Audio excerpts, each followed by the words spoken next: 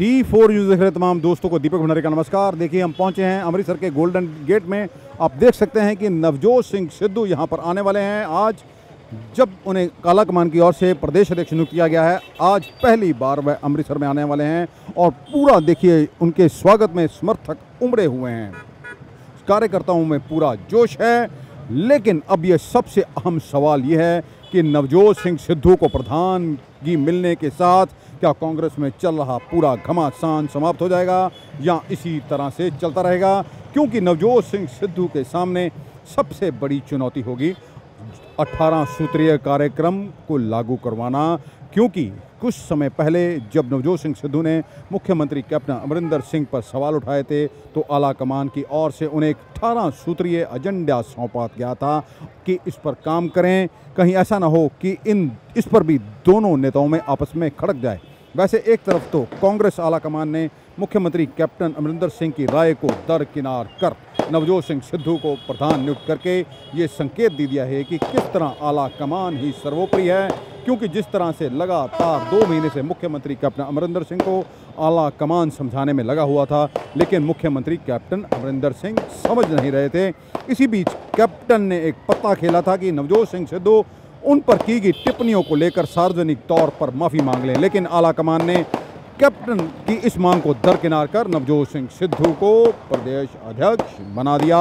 भले ही सिद्धू ने मुख्यमंत्री कैप्टन अमरिंदर सिंह को पैगाम भेजा था कि वह उनसे मिलना चाहते हैं, लेकिन अभी तक उधर से कोई जवाब नहीं आया है कि यह सच है कि जिस तरह से नवजोत सिंह सिद्धू मुख्यमंत्री कैप्टन अमरिंदर सिंह के बीच खींचतान चल रही है, नीचे कार्यकर्ता इससे निराश थे।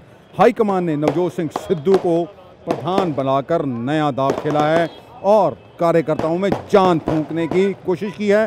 कुछ राजनीतिक माहर ये मान रहे हैं कि सिद्धू की ये नई जो प्रधानगी है, नई बोतल में पुरानी शराब जैसी है, क्योंकि 2017 में जिस तरह मुख्य मंत्री कैप्टन अमरिंदर सिंह ने गुटका साहब हाथ में पकड़कर शपथ ली थी कि वह पंजाब से नशे को समाप्त कर देंगे, वह इन वायदों को पूरा नहीं कर पाए इसी बीच मुख्यमंत्री कैप्टन अमरिंदर सिंह के रणनीतिकार प्रशांत किशोर की एंट्री होती है और वह भी कांग्रेस आला कमान के संपर्क में आते हैं। तो स्पष्ट कर देते हैं कि मौजूदा समय में मुख्यमंत्री कैप्टन अमरिंदर सिंह के नाम पर यदि चुनाव लड़ते हैं तो कांग्रेस को नुकसान पंजाब में होना तय है।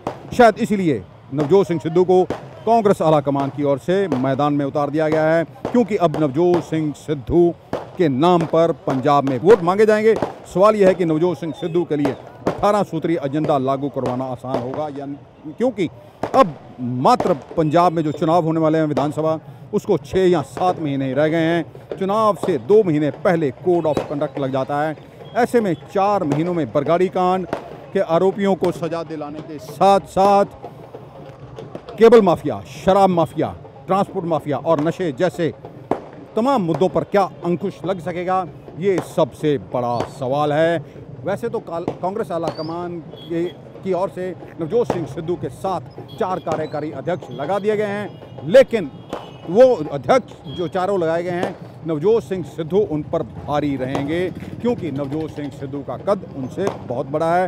हालाँकि उन सभी ने भी अपनी सहमति जताती है कि जो नवजोत सिंह सिद्धू के वह वही करेंगे। ये सच है कि मुख्यमंत्री कैप्टन अमरिंदर सिंह कभी कभार ही अपने कार्यालय में जाते थे। वह अक्सर सिसवा स्थित अपने फार्म हाउस पर ही रहते थे, क्योंकि अगर वह सरकारी निवास पर जाते तो लोग उनसे मिल सकते थे, लेकिन सिसवा स्थित फार्म हाउस पर उनसे मिलना हर किसी के लिए संभव नहीं था। अब ये हो सकता है कि नवजोत सिंह सिद्धू चुनावों के दौरान लोगों से ये कहें, क्योंकि मुख्यमंत्री कैप्टन अमरिंदर सिंह के हाथ सरकार की कमान थी, इसलिए लोगों से किए हुए वायदे वह पूरे नहीं किए जा सके। इसलिए उन्हें मौका दिया जाए। क्या नवजोत सिंह और मुख्यमंत्री कैप्टन अमरिंदर सिंह भविष्य में एक ही मंच पर आएँगे? इसका जवाब रा, कई राजनीतिक माहिर ये देते हैं कि राजनीति में ना तो कोई किसी का पक्का दोस्त है और ना ही कोई दुश्मन। रातों रात हालात और रिश्ते बदल जाते हैं। फ़िलहाल जो हालात चल रहे हैं उन्हें ठीक होने में समय लगेगा नवजोत सिंह सिद्धू फिर मुख्यमंत्री कैप्टन अमरिंदर सिंह को अपने पिता समान कह सकते हैं जिससे दोनों में के रिश्तों में आई हुई खटास। दूर हो सकती है। रही नवजोत सिंह सिद्धू को जिस तरह यहाँ पर प्यार मिल रहा है, ऐसे में उनकी जो आप समझ सकते हैं, नवजोत सिंह सिद्धू की जो लोकप्रियता है, वह किसी से कम नहीं है। सिद्धू अपने तेज तर्रार रवैये से वोटरों को खींचने में काम, कामयाब होते हैं या नहीं, ये तो वैसे आने वाला समय ही बताएगा। लेकिन जिस तरह से नवजोत सिंह सिद्धू श्रोमणी अकाली दल बादल परिवार पर आक्रामक होंगे, जनता उनकी बात ज़रूर सुनेगी। जनता के बीच जाने से पहले नवजोत सिंह सिद्धू की स्थिति अब जब जाएँगे तो उनसे जनता पूछेगी कि आप क्या करेंगे, आपने क्या किया? क्योंकि आपने तो मंत्री पद ही छोड़ दिया था। कांग जो इसलिए 2022 में चुनाव जीतना जो है आम आसान नहीं होगा। एक तरह से अगर आला कमान की बात करें कांग्रेस की तो उन्होंने एक नया पत्ता खेला नवजोत सिंह सिद्धू को प्रधान बनाकर, क्योंकि जिस तरह तरह से लगातार नवजोत सिंह सिद्धू आक्रामक हो रहे थे, मुख्यमंत्री कैप्टन अमरिंदर सिंह पर लगातार ट्विटर पर जंग छेड़े हुए थे कि कांग्रेस के जो है, कांग्रेस ने चार सालों में जनता से किए वायदे पूरे नहीं किए तो ऐसे में हम जनता के समक्ष कैसे जाएँगे? अब नवजोत सिंह सिद्धू के लिए वही चीज़ें जो परेशानी बन सकती हैं, जिनको लेकर नवजोत सिंह सिद्धू सवाल उठाते रहे हैं। कैप्टन अमरिंदर सिंह के कारण पंजाब में फिर से सरकार बनाना कांग्रेस के सामने चुनौती से कम नहीं था इसलिए नवजोत सिंह सिद्धू ने के पर कांग्रेस आला कमान की ओर से एक दाव खेला गया। अब इन दोनों के बीच तब भी खींचतान हो सकती है जब मुख्यमंत्री कैप्टन अमरिंदर सिंह मंत्रिमंडल में फेरबदल करेंगे।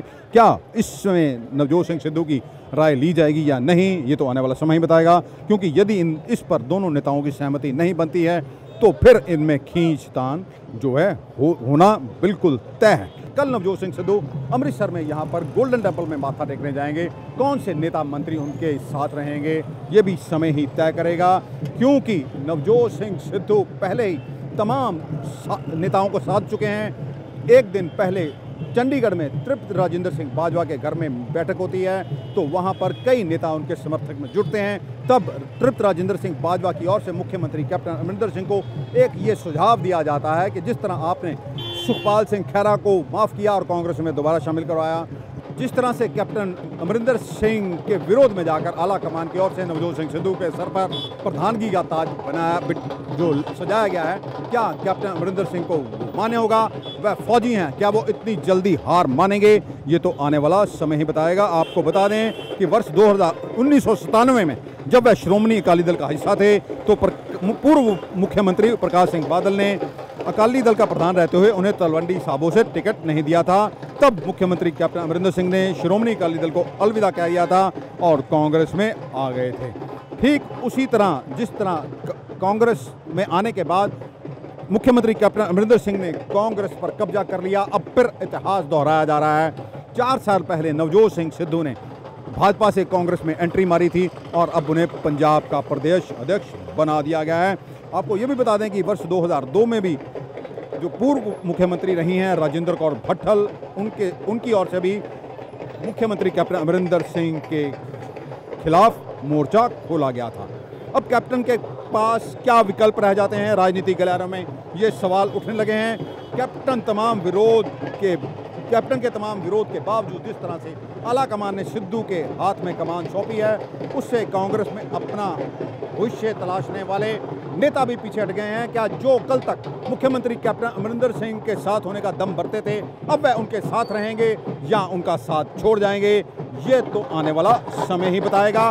लेकिन कुल मिलाकर कांग्रेस के लिए जो आने वाले जो चुनाव हैं 2022 के, वो जो समय है, वो आसान नहीं है, क्योंकि चुनाव जीतना है तो सबको साथ मिलकर चलना होगा, वरना कांग्रेस को मुखी खानी पड़ सकती है, क्योंकि इस तरह अगर देखा जाए तो इस समय कांग्रेस के पास जो कांग्रेस ने दया दाव खेला है, उससे उससे ये साफ़ ज़ाहिर है कि कांग्रेस पंजाब को हल्के से नहीं लेना चाहती। अब ये देखना है कि नवजोत सिंह सिद्धू के खेमे में वो तमाम मंत्री या विधायक आते हैं, जो कभी मुख्यमंत्री कैप्टन अमरिंदर के साथ के साथ हुआ करते थे या नहीं, हमने आपको सारी स्थिति से अवगत करवा दिया है। फैसला जो है आप सबको करना है। अमृतसर से डी फोर न्यूज़ के लिए दीपक भंडारी की खास रिपोर्ट।